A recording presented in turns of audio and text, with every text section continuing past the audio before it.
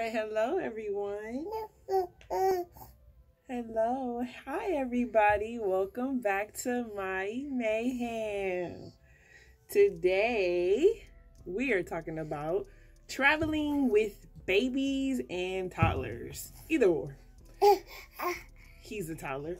And he has had the luxury of going on plenty trips in yeah, trips in his little life. He's been on road trips. He's been on a cruise. He's been on flights. One of our first trips was mm, a road trip. Um, what helped me with the road trip? I'm a breastfeeding mom. You guys know that if you are subscribed to our channel. If not, make sure you hit that notification bell. Make sure you subscribe. Don't forget to like this video. You're gonna love it. You're gonna love it if you're a traveling parent. These are things that work for me. Um, you can comment below things that work for you. Maybe you can give me some tips, use some of my tips, whatever. Let's network together and keep traveling the world. So, we the first thing was road trip. Um, I always brought my handheld pump. That was my buddy. Um, son, you can't tear up the studio. You, you want to write? Look, write your name. A S I R T A U. What does that spell? A seer child. yeah, that's your name. Okay, so back again. Uh, road trip. I always brought my hand pump to pump while we were on the road, um, just in case he got hungry um, while we were driving and couldn't stop yet. Um, I would pump, put in a bottle, pass it to him. That worked for us. Um, we would take stops. Um, yes, because he wasn't walking or crawling at the time when we started road trips. Yes, they still need to stretch their little bones. Don't put that in your mouth. They need to stretch their little bones. They get tired of being in a car seat. Don't you get tired of being behind that seatbelt? They get tired of being strapped into a car seat. So we would let him stretch. I would nurse him, put him back in uh in his car seat. And for most trips, he he slept really well. Um what I did for car trips, what I did for um, plane trips, and what I did on cruise trips. Just quick little tips, and we're going to get this going. All right, so in the car, tip number one was for a baby, um, just make sure you feed them and let them stretch keep their diapers changed. Um, for a toddler, make sure you have snacks. Make sure you keep them entertained. It all depends on the length of the trip. Um, keep their diapers changed. Um, I am very uh, uh, equipped and I keep the car stacked with diapers, wipes, um, changing pad. Um, I'm able to change him in my lap. I am able to uh, change him in the seat. Um, I'm just good at that.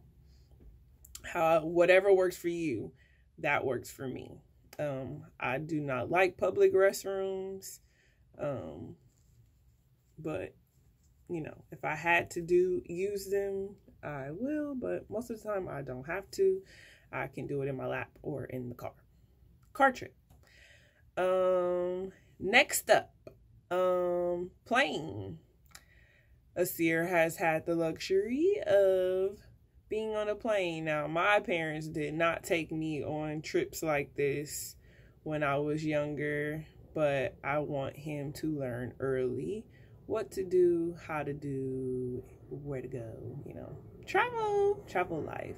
black kids do travel. I Had the luxury of visiting family in Ohio and we had a blast. Um, what helped me with that, um, he was uh, 11 months old when we took that trip. So he was a little cruiser. He was learning to walk.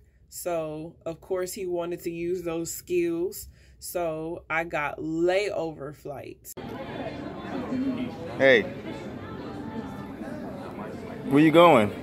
Let's hear. Let's hear. Hey. Hey. Towel.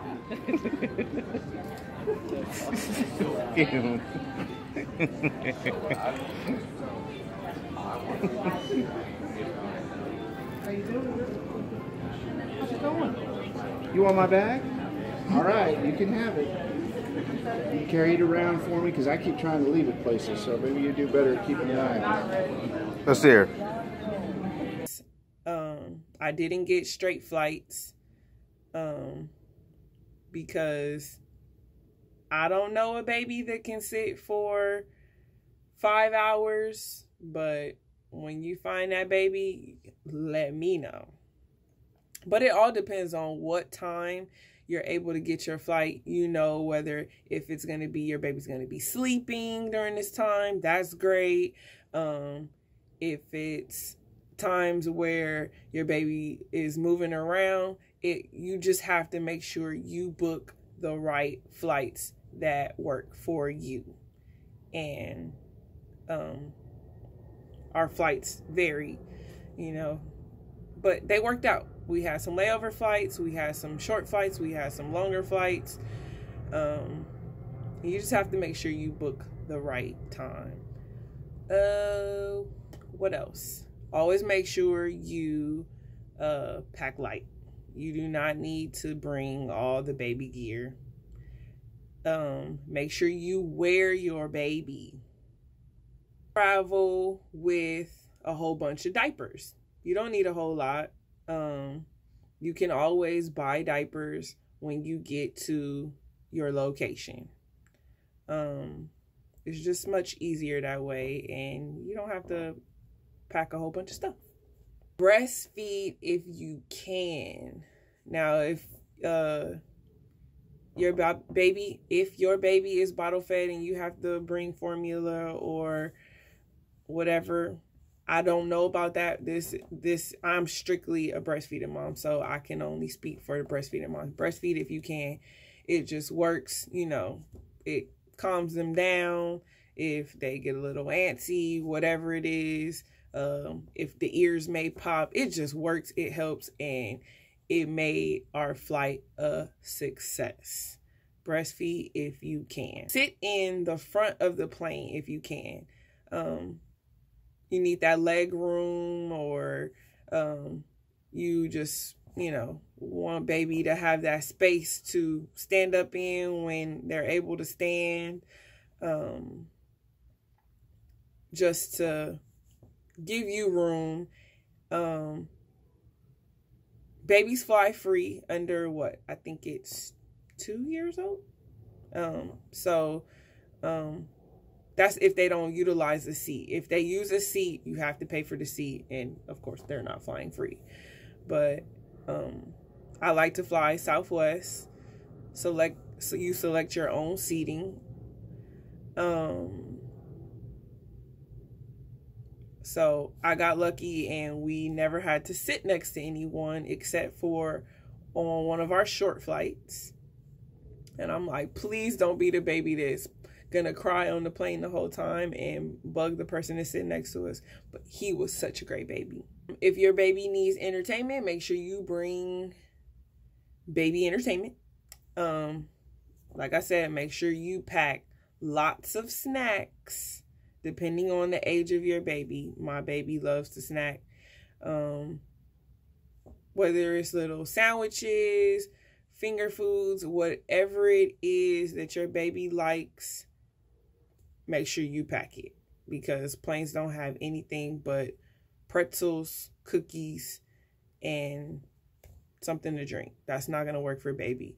baby if baby is on a schedule and baby's used to something you got to keep it no matter what so you can have a successful flight and that's what i did i made sure that my baby still felt like he was at home even when we were out of town or on the flight don't forget your car seat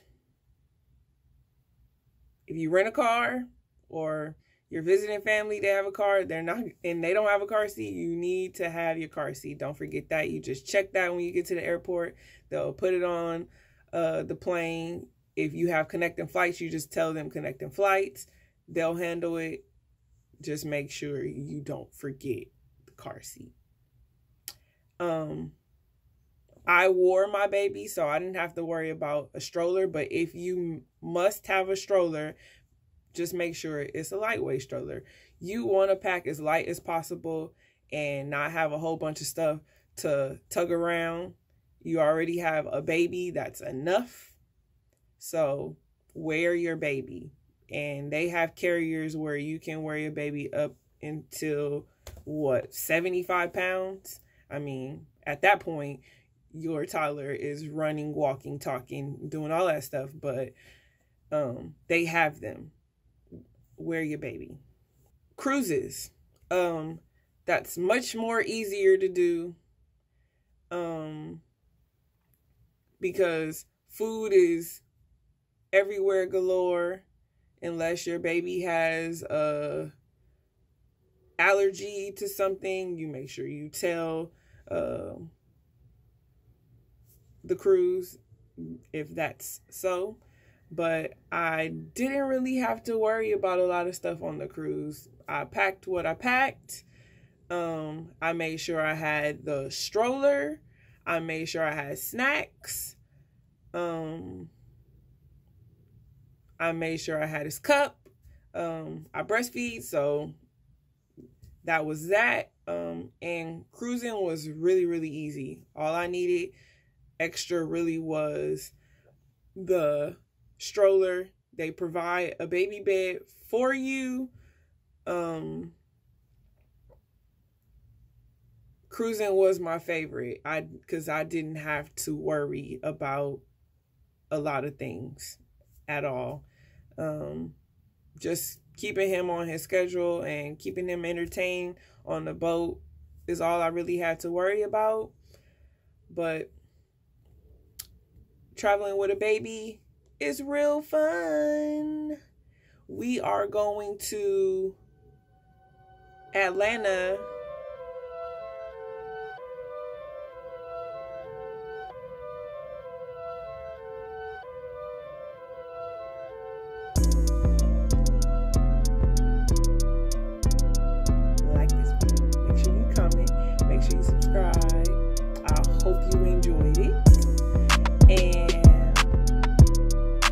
check us out at Mayi Mayhem.